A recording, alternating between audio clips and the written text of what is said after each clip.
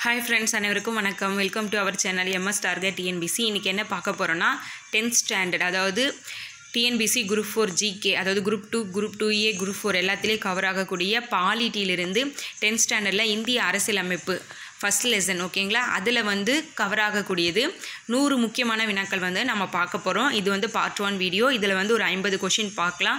Next வீடியோவில் வந்து ஒரு ஐம்பது கொஷின் பார்க்கலாம். வீடியோ ஃபுல்லாக பாருங்கள் பிடிச்சிருந்தா லைக் பண்ணி வச்சுக்கோங்க. சப்ஸ்கிரைப் பண்ணாதவங்க சப்ஸ்கிரைப் பண்ணி வச்சுக்கோங்க. வாங்க வீடியோக்குள்ளே போகலாம் முதல் வினா. இது எல்லாமே வந்து மிக மிக முக்கியமான வினா. ஓகேங்களா? புக்கில் வந்து நம்ம தியரியாக பார்ப்போம். கொஷின் எப்படி கேட்பாங்கன்னு நமக்கு தெரியாது. ஃபுல்லாமே பேராகிராஃப் டைப்பில் இருக்கும். நம்ம எது படித்தோம் எதுக்கு ஆன்சர் எது கொஷின் நமக்கு தெரியாது. இது போல் நம்ம புக்கில் already one or two times படிச்சுட்டு ரிவிஷன் பண்ணிவிட்டு இது போல் கொஷின் அண்ட் ஆன்சர் பார்க்கும் பொழுது எக்ஸாமில் வந்து எப்படி கொஷின் கேட்பாங்க எப்படி கொஷின் மேக் பண்ணாங்கன்னு தெரிஞ்சிக்கலாம். ஓகேங்களா இதுமாரி கொஷின் ஆள் நம்ம ரிப்பீட்டட் ஆகும்பொழுது இந்த கொஷின்லேருந்து டிஎன்பிசியில் கொஷின் கேட்டாங்கன்னா ஈஸியாக ஆன்சர் பிக் பண்ணுறதுக்கு உங்களுக்கு யூஸ்ஃபுல்லாக இருக்கும். வாங்க முதல் வினா பார்க்கலாம். முதல் வினா அரசியல் அமைப்பு என்ற கொள்கை முதன் முதலில் எந்த நாட்டில் தோன்றியது? அரசியலமைப்பு என்ற கொள்கை முதன் முதலில் எந்த நாட்டில் தோன்றியது? ஃபுல்லாக நீங்கள் புக்கை படிச்சிருந்தீங்கன்னா இந்த வீடியோ கண்டிப்பாக ஒரு ரிவிஷன் பண்ணுறதுக்கு ஒரு நல்ல வீடியோவாக இருக்கும். ஃபுல்லாக ஒரு ரிவிஷன் பண்ண ஃபீலும் இருக்கும் ஓகேங்களா அரசியலமைப்பு என்ற கொள்கை முதன் முதலில் எந்த நாட்டில் தோன்றியது? அமெரிக்க ஐக்கிய நாடுகள் யுஎஸ்ஏ அரசியலமைப்பு என்ற கொள்கை முதன் முதலில் அமெரிக்க ஐக்கிய நாடுகள் யுஎஸ்ஏல தோன்றியது. அடுத்து இரண்டாவது வினா.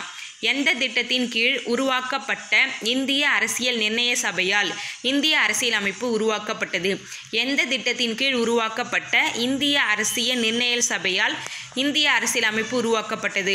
ஆயிரத்தி தொள்ளாயிரத்தி நாற்பத்தி ஆறு அமைச்சரவை தூதுக்குழு திட்டத்தின் கீழ். ஆயிரத்தி தொள்ளாயிரத்தி நாற்பத்தி ஆறு அமைச்சரவை தூதுக்குழு திட்டத்தின் கீழ். அடுத்து மூன்றாவது வினா. இந்திய அரசியல் நிர்ணய சபையில் இருந்த மொத்த உறுப்பினர்களின் எண்ணிக்கை. இந்திய அரசியல் நிர்ணய சபையில் இருந்த மொத்த உறுப்பினர்களின் எண்ணிக்கை முந்நூற்றி எண்பத்தி ஒன்பது. ஓகேங்களா? அதில் வந்து எவ்வளோ மெம்பர்ஸ் எங்கெங்கே இருந்து வந்தாங்க? மாகாணத்திலிருந்து எத்தனை பேர்? பலுசிஸ்தானிலேருந்து எத்தனை பேர்? முதன்மை உறுப்பினர்கள்லேருந்து எத்தனை பேர்னு இருக்கோ அதெல்லாம் வந்து நீங்கள் பார்த்து வச்சுக்கணும். தொண்ணூற்றி ரெண்டா ஒன்றா மூணு பேரா? அப்படிலாம் வந்து அதையும் ஸ்ப்ளிட் பண்ணி கொஷின் கேட்கறதுக்கு சான்சஸ் இருக்குது அடுத்து நான்காவது வினா. இந்திய அரசியல் நிர்ணய சபையின் முதல் கூட்டம் நடைபெற்ற ஆண்டு. இந்திய அரசியல் நிர்ணய சபையின் முதல் கூட்டம் நடைபெற்ற ஆண்டு ஆயிரத்தி தொள்ளாயிரத்தி நாற்பத்தி ஆறு டிசம்பர் ஒன்பது. ஆயிரத்தி தொள்ளாயிரத்தி நாற்பத்தி ஆறு டிசம்பர் ஒன்பது.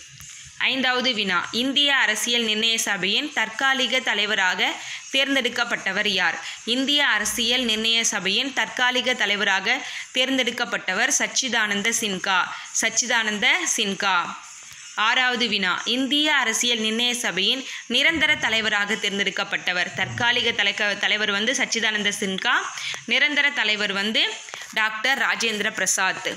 ஏழாவது வினா. இந்திய அரசியல் நிர்ணய சபையின் கூட்டத்தொடர் நடந்து கொண்டிருக்கும் பொழுது இறந்த தலைவர் வந்து டாக்டர் சச்சிதானந்த சின்கா இந்திய அரசியல் நிர்ணய சபையின் கூட்டத்தொடர் நடந்து கொண்டிருக்கும் போது இறந்த தலைவர் சச்சிதானந்த சின்கா இருபத்தி ஆறாவது வினா. இந்திய அரசியல் நிர்ணய சபையின் துணைத் தலைவர்களாக தேர்ந்தெடுக்கப்பட்டவர்கள் யார்? இந்திய அரசியல் நிர்ணய சபையின் துணைத் தலைவர்களாக தேர்ந்தெடுக்கப்பட்டவர்கள் எச். சி. முகர்ஜி மற்றும் V. T. Krishnamachari.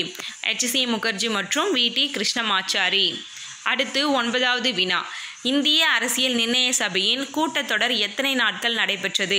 இந்திய அரசியல் நிர்ணய சபையின் கூட்டத்தொடர் எத்தனை நாட்கள் நடைபெற்றதுன்னா நூற்றி அறுபத்தி ஆறு நாட்கள்.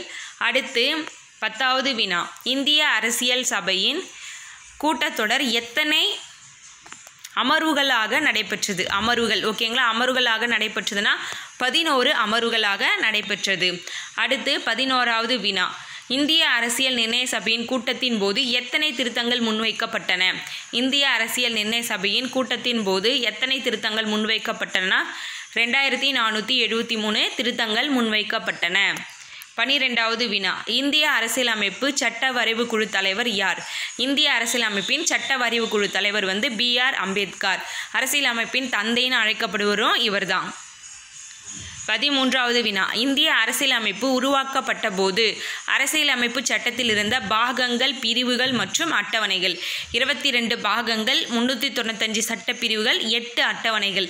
ஓகேங்களா இருபத்தி ரெண்டு பாகம் முந்நூற்றி தொண்ணூத்தஞ்சு சட்டப்பிரிவு எட்டு அட்டவணைகள் வந்து இந்திய அரசியலமைப்பு உருவாக்கப்படும் பொழுது இருந்தது. பதினான்காவது வினா. இந்திய அரசியலமைப்பு சட்டம் ஏற்றுக்கொள்ளப்பட்ட ஆண்டு. இந்திய அரசியலமைப்பு சட்டம் ஏற்றுக்கொள்ள கொள்ளப்பட்ட ஆண்டு ஆயிரத்தி தொள்ளாயிரத்தி நாற்பத்தொம்போது நவம்பர் இருபத்தி ஆறு இந்திய அரசியலமைப்பு சட்டமானது ஏற்றுக்கொள்ளப்பட்ட ஆண்டு ஆயிரத்தி தொள்ளாயிரத்தி நாற்பத்தொம்போது நவம்பர் இருபத்தி ஆறு இதுவே வந்து இந்திய அரசியலமைப்பு சட்டமானது நடைமுறைக்கு வந்த ஆண்டு ஆயிரத்தி தொள்ளாயிரத்தி ஐம்பது ஜனவரி இருபத்தி ஆறு ஜனவரி இருபத்தி ஆறு பதினாறாவது வினா. இந்திய அரசியலமைப்பு சட்டத்தை இத்தாலிய பாணியில் யார் கைப்பட எழுதியது? இந்திய அரசியலமைப்பு சட்டத்தை இத்தாலிய பாணியில் யார் கைப்பட எழுதியதுன்னா பிரேம் பெஹாரி நரேன் ரைஜடா. பிரேம் பெஹாரி நரேன் ரைஜடா. பதினேழாவது வினா. ஜவஹர்லால் நேருவின் குறிக்கோள் தீர்மானம் அரசியல் நிர்ணய சபையால் ஏற்றுக்கொள்ளப்பட்ட ஆண்டு. ஜவஹர்லால் நேருவின் குறிக்கோள் தீர்மானம் அரசியல் நிர்ணய சபையால் ஏற்றுக்கொள்ளப்பட்ட ஆண்டு ஆயிரத்தி தொள்ளாயிரத்தி நாற்பத்தி ஏழு ஜனவரி இருபத்தி ரெண்டு ஆயிரத்தி தொள்ளாயிரத்தி நாற்பத்தி ஏழு ஜனவரி இருபத்தி ரெண்டு பதினெட்டாவது வினா. இந்திய அரசியலமைப்பின் முகவுரை எந்த ஆண்டு மற்றும் எந்த அரசியலமைப்பு சட்ட திருத்தத்தின்படி திருத்தப்பட்டது? இந்திய அரசியலமைப்பின் முகவுரை எந்த ஆண்டு மற்றும் எந்த அரசியலமைப்பு சட்ட திருத்தத்தின்படி திருத்தப்பட்டதுன்னா ஆயிரத்தி தொள்ளாயிரத்தி எழுபத்தி ஆறு நாற்பத்தி ரெண்டாவது சட்ட திருத்தம் ஆயிரத்தி தொள்ளாயிரத்தி எழுபத்தி ஆறு நாற்பத்தி ரெண்டாவது சட்ட திருத்தம் பத்தொன்பதாவது வினா. முகவரியில் அரசியலமைப்பு சட்ட திருத்தத்தின்படி திருத்தப்பட்ட மூன்று புதிய சொற்கள் யாவை?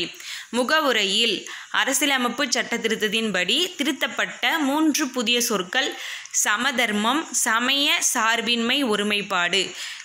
சமதர்மம் சமய ச சமய சார்பின்மை ஒருமைப்பாடு. ஃபஸ்ட்டு வந்து சமதர்மம் அப்புறம் சமய சார்பின்மை அப்புறம் ஒருமைப்பாடு. இந்த மூணு வேர்ட்ஸ் தான் வந்து ஆட் பண்ணியிருப்பாங்க இருபதாவது வினா. இந்திய அரசியலமைப்பின் முகவுரையானது டேஸ் என்ற சொற்களுடன் தொடங்குகிறது. இந்திய அரசியலமைப்பின் முகவுரை எப்படி சொல்லுவோம்னா முன்னுரை முகவுரை அதுபோலாம் நம்ம சொல்லுவோம் ஓகேங்களா அதுக்கப்புறம் அறிமுகம் கூட சொல்லுவாங்க. இந்திய அரசியலமைப்பின் அறிமுகம் கூட சொல்லுவாங்க. இதெல்லாம் வந்து முகவுரைக்கு வந்து வேறு பெயர்கள். இந்திய அரசியலமைப்பின் முகவுரையானது டேஸ் என்ற சொற்களுடன் தொடங்குகிறதுனா இந்திய மக்களாகிய நாம் இந்திய மக்களாகிய நாம். அடுத்து இருபத்தி ஓராவது வினா. எந்த ஆண்டு நடைபெற்ற பிரெஞ்சு புரட்சியின் போது சுதந்திரம் சமத்துவம் சகோதரத்துவம் ஆகிய முக்கிய முழக்கங்களாக இருந்தன.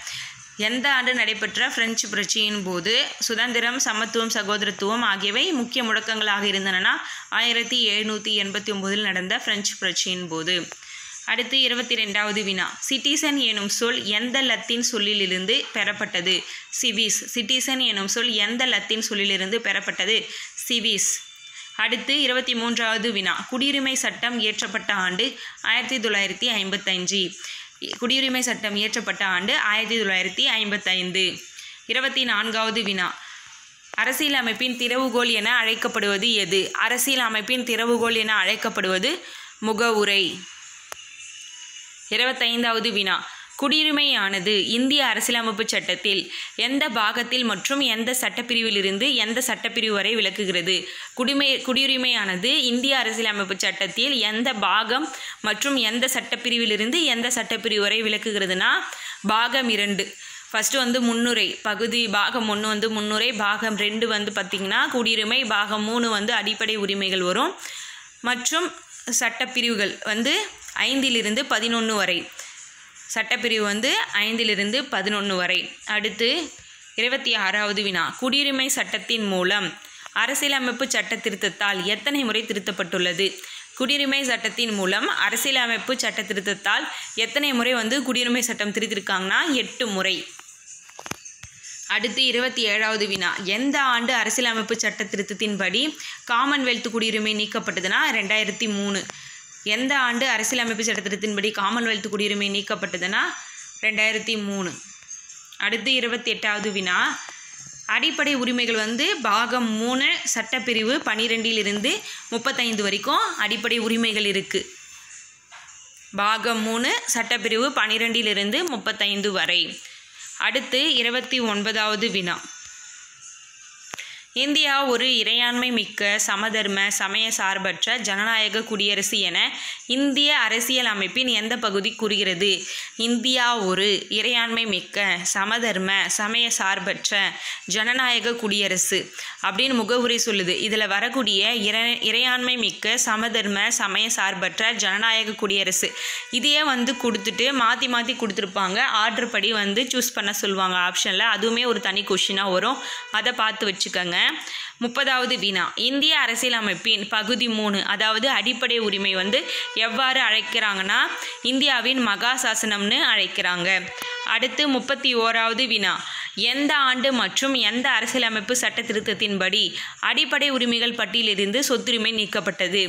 எந்த ஆண்டு மற்றும் எந்த அரசியலமைப்பு சட்ட திருத்தத்தின்படி அடிப்படை உரிமைகள் பட்டியலிருந்து சொத்துரிமை நீக்குனாங்கன்னா ஆயிரத்தி தொள்ளாயிரத்தி எழுபத்தி எட்டு நாற்பத்தி நாலாவது சட்ட திருத்தம் இதுவே ஆயிரத்தி தொள்ளாயிரத்தி எழுபத்தி ஆறுனா நாற்பத்தி ரெண்டாவது சட்ட திருத்தம் வரும். அது வந்து முகவரியை திருத்திருப்பாங்க. அந்த சட்ட திருத்தத்தை யூஸ் பண்ணி.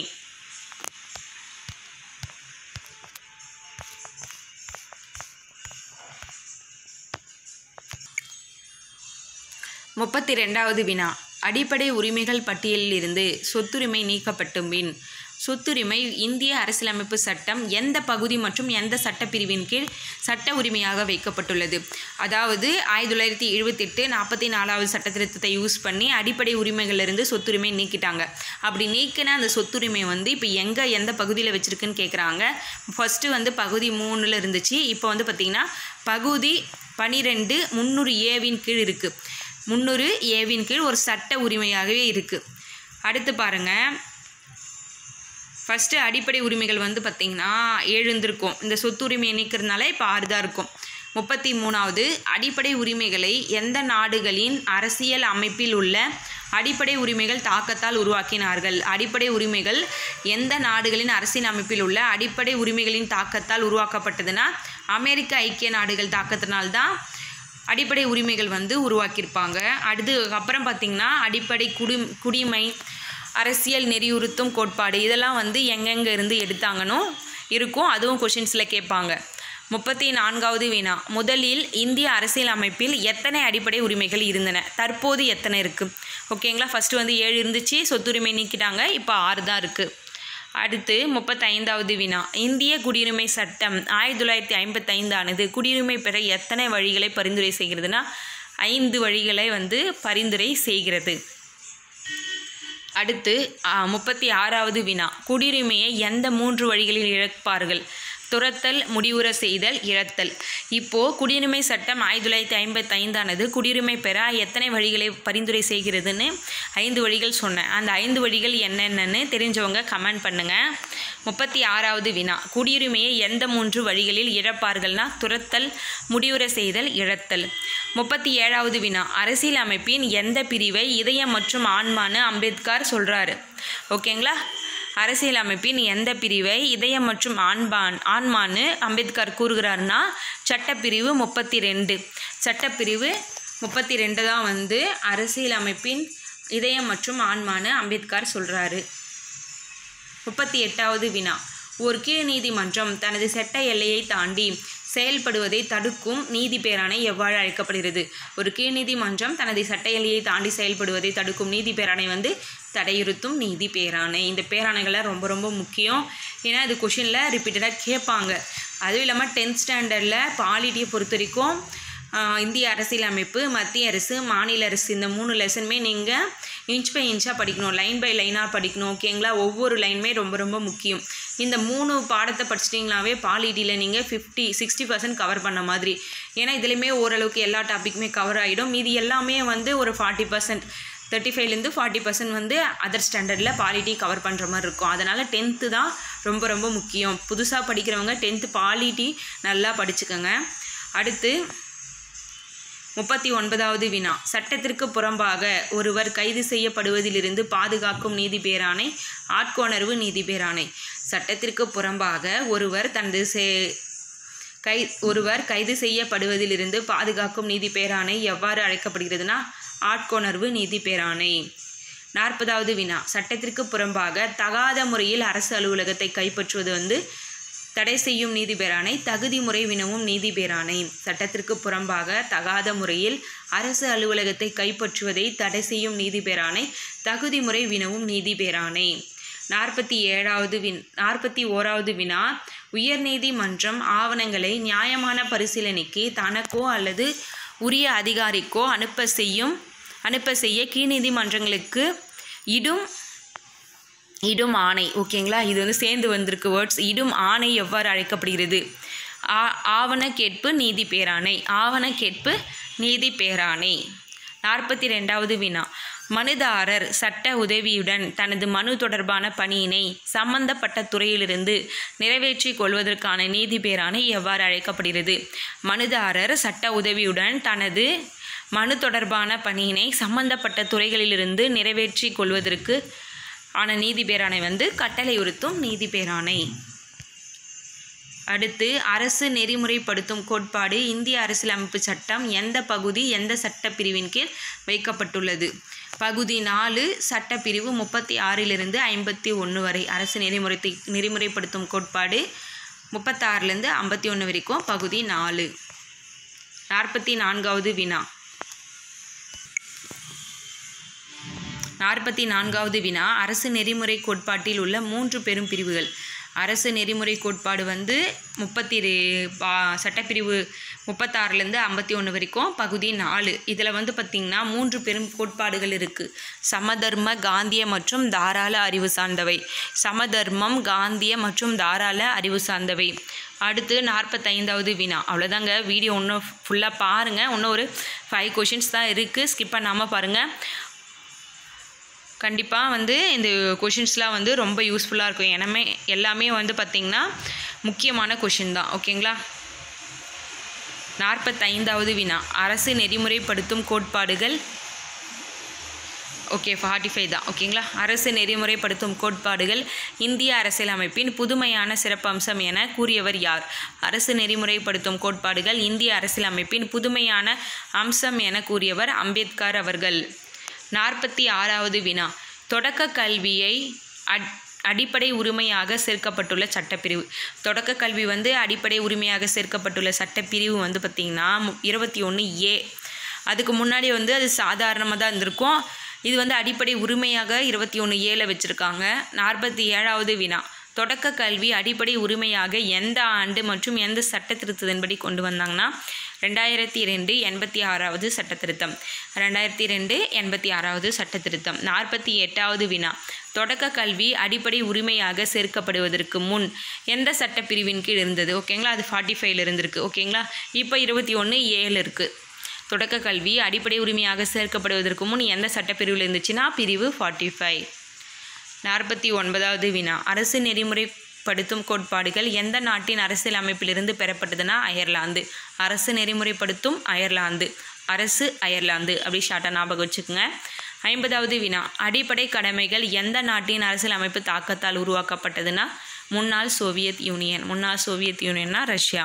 அடிப்படை கடமைகள் எந்த நாட்டின் அரசியலமைப்பு தாக்கத்தால் உருவாக்கப்பட்டதுன்னா முன்னாள் சோவியத் யூனியன். அவ்வளோதாங்க வீடியோ இதோடு ஃபினிஷ் ஆகுது. உங்களை வேறொரு வீடியோவில் சந்திக்கிறேன். வீடியோ பிடிச்சிருந்தா லைக் பண்ணி வச்சுக்கோங்க. தென் சேனலை சப்ஸ்கிரைப் பண்ணால் மறக்காதீங்க. தேங்க்யூ